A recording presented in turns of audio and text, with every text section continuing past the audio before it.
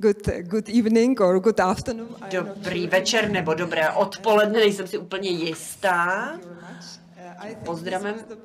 Já si myslím, že naopak teď už ta nejlepší, ne, ne, nejlepší část je za námi, protože já bohužel nejsem tak zábavný řečník, mám pro vás připravenou, připravenou prezentaci, protože nejsem schopná hovořit takto z patra.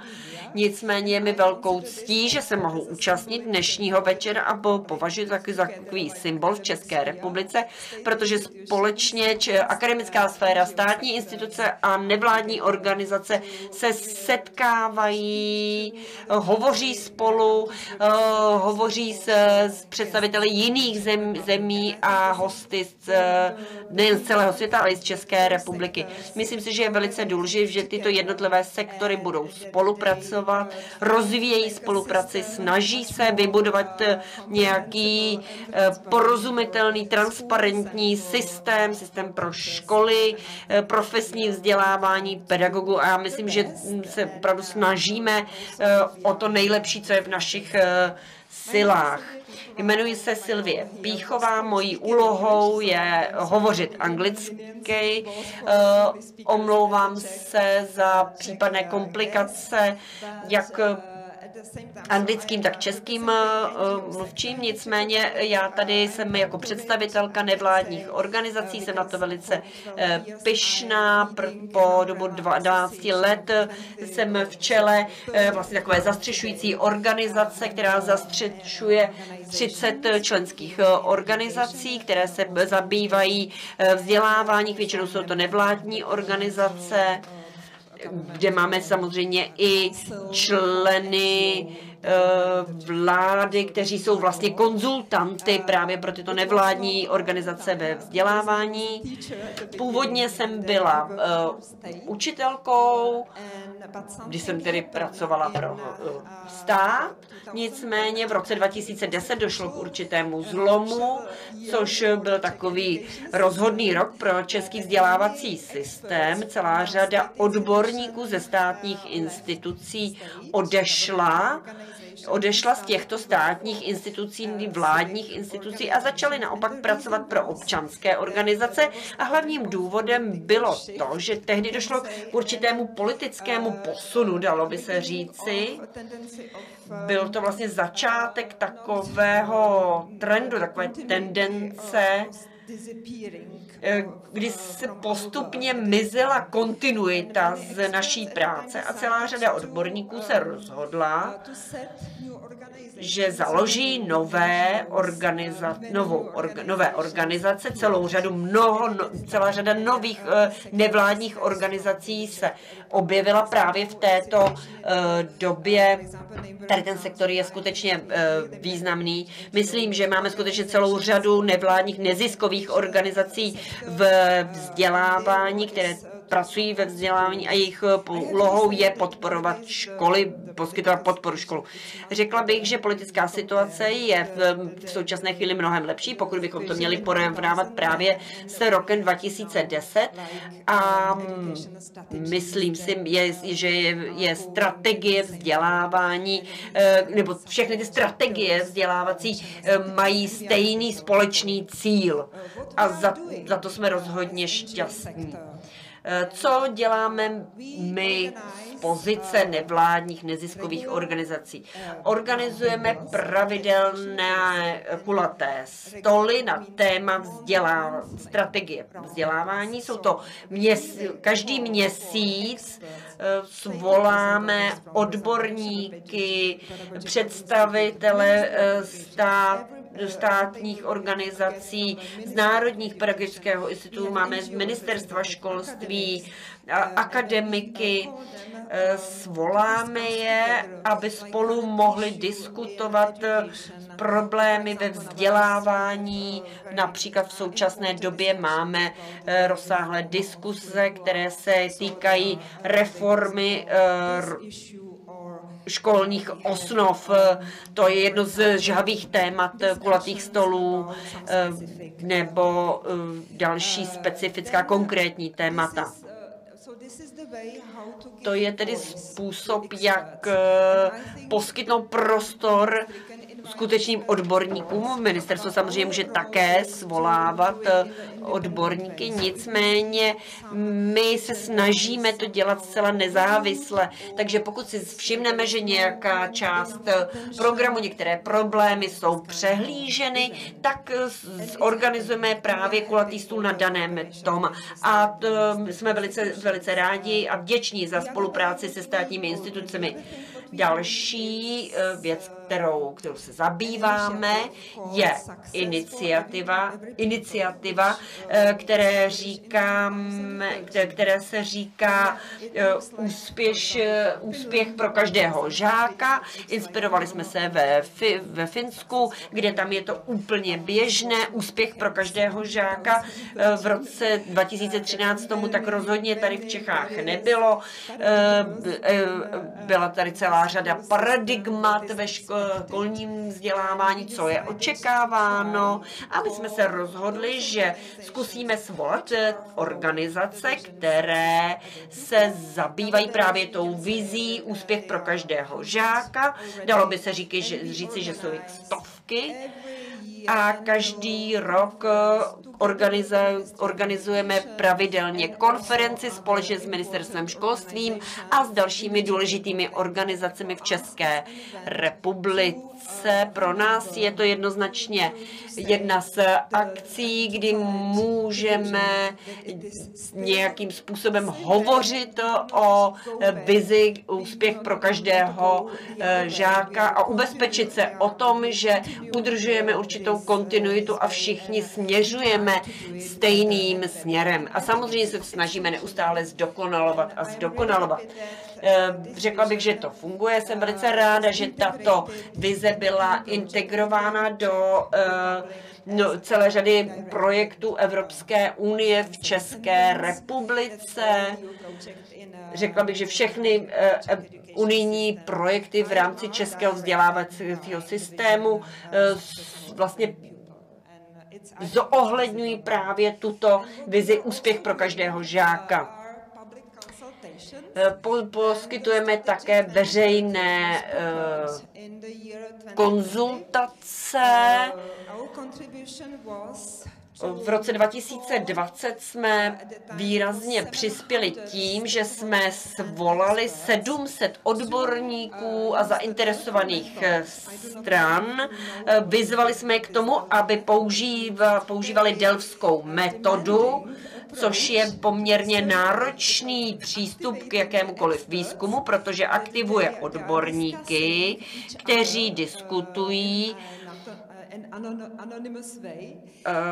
anonymním způsobem, zodpovídají uh, otázky, mohou komentovat, připomínkovat své návrhy mezi sebou anonymně.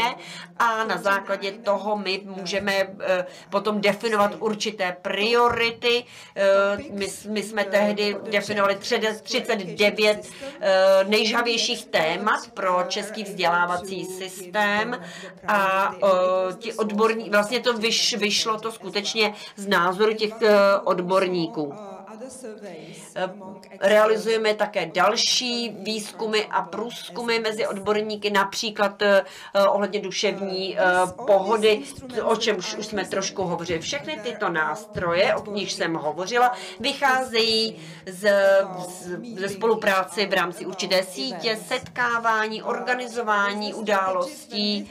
Nicméně se strategií 2030 rozhodli jsme se, že to není pro Českou republiku dostačující a rozhodli jsme se eh, nastavit skutečně takové dobře etablované partnerství. Partnerství bylo uh, založeno sedmi zastřešujícími organizacemi, 100, 100 vlastně mládežnických organizací, 200 organizací, které, které vycházejí vlastně z lokálních komunit, asociace ředitelů škol, potom naše vlastně stálá konference, eh, organizace regionálních center, asociace pro inkluzivní vzdělávání a platformu pro uh, Eh, pro soukromé vzdělávání, kteří se všichni rozhodli, že budou pracovat na rozvoji a zdokonalování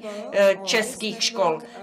Tato síť tedy eh, na založila společné partnerství, eh, vedoucí v čelech, v čelech eh, těchto organizací se eh, mění už naštěstí nebo na neštěstí. Například vidíte, že tady paní Laurenčíková v současné době už ne, ne, ne, nepracuje v této organizaci, protože je v rámci, je zmocněnkyní pro lidská práva v rámci Evropské unie. V, v rámci rámci tohoto partnerství jsme se rozhodli, že a je zjevné, že vláda jednoznačně je zodpovědná za strategii 2030. Nechceme nějak konkurovat vládě, ale chtěli bychom přispět k úspěchu strategie 2030 a rozhodli jsme se zaměřit na dvě témata, dva cíle, kdy jsme, protože si myslíme, že v tom jsme skutečně dobří a můžeme nabídnout naši odbornost, naše znalosti právě v těchto dvou oblastech. Jednak je to pomoci vybudovat efektivní systém vedení škol, což by mohlo vést k zlepšení eh, výsledku vzdělávání a k otevřenější nabídce rovných příležitostí.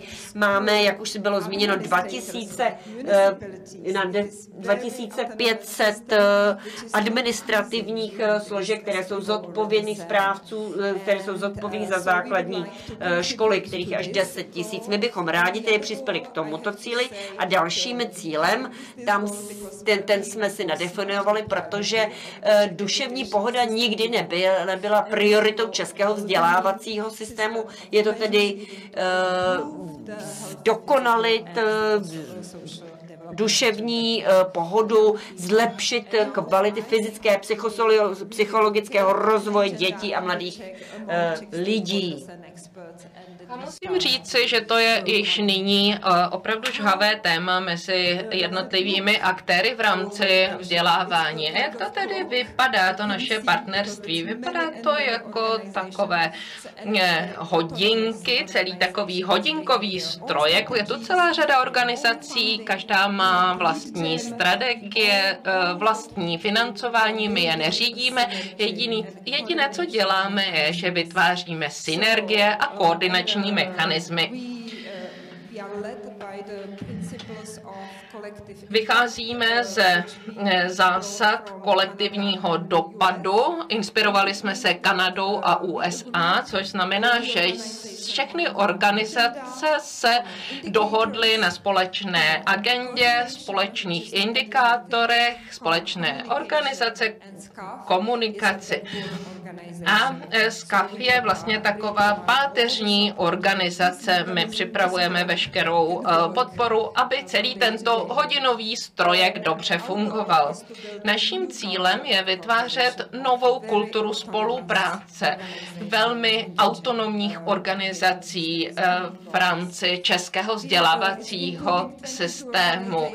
Je to celkem 22 organizací, 7 zakládajících platform, 11 odborných organizací. A co se týče wellbeingu, duševní pochody dětí, máme celou řadu terapeutů, máme také organizace, které eh, řeší agresi v rodinách a další poměrně obtížné a náročné problémy.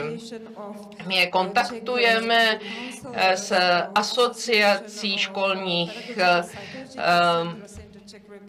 pedagogů,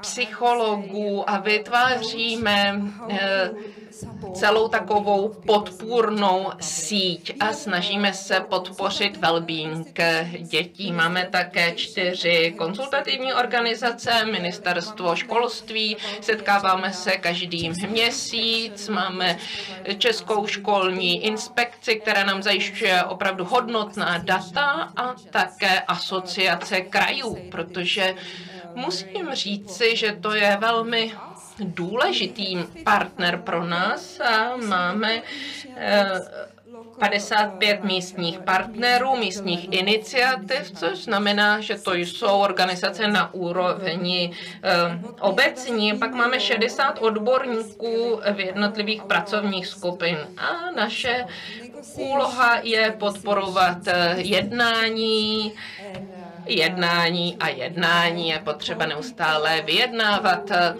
eh, zvát lidi, vyzývat je k účasti, motivovat je a říkat jim, že opravdu eh, mohou otevřeně diskutovat o jednotlivých problémech v bezpečném prostředí. Toto je pár fotografií z konference, která se týkala úspěchu pro každého žáka. Já bych eh, profesor, My, profesor Michael Fullen nebo Andy Hardy to bylo skvělé, že byli tady na této konferenci a že se nám podařilo je dostat do České republiky. A to není všechno. Protože situace ve společnosti je v současné době tak komplikovaná, jsme přesvědčeni, že musíme spolupracovat mezi oborově. Máme obrovskou uh, síť uh, mezioborové spolupráce, 18 různých eh, sítí, které eh, působí například v oblasti eh, životního prostředí, boje proti korupci, na podporu žen a další. A všichni se setkáváme každý měsíc a pracujeme na společné vizi a společné problematice, která je mezioborová. A tím bych ráda ukončila svoji prezentaci, protože na vás ještě čeká recepce, ale já eh, jsem vás chtěla eh, informovat o tom, co děláme. Nevím, jestli to děláme dobře, ale snažíme se to dělat co nejlépe. Eh, snažíme se objevit příležitosti a najít způsoby, jak společně fungovat a spolupracovat i se státními organizacemi a myslím si, že máme teď velkou příležitost zahájit spolupráce i s akademickou sférou, což je obrovský sektor a tam právě začíná. A co můžeme nabídnout? Jsme um, svolavatelem, facilitátorem, my podporujeme účast a zapojení do jednotlivých uh, aktivit, vytváříme partnerství v rámci systému je s našimi dalšími neziskovými organizacemi. Uh, Eh, je tu celá řada neziskových organizací, které poskytují podporu eh, vedoucím pracovníkům ve školství a školám. A snažíme se hájit veřejný zájem eh, zajišťujeme kontinuitu, dokážeme být i nezávislí a také dokážeme získat další finanční zdroje nejenom z z Evropské unie, ale i z České republiky, různých nadací a podobně, což si myslím, že je výjimečné. A tím bych uzavřela svoji prezentaci. Moc vám děkuji za pozornost a je skvělé, že se můžeme setkat osobně po těch letech, kdy jsme byli zavřeni v průběhu pandemie covidu, tak vám přeju úspěšnou konferenci a hezký pobyt v České republice. Děkuji za pozornost.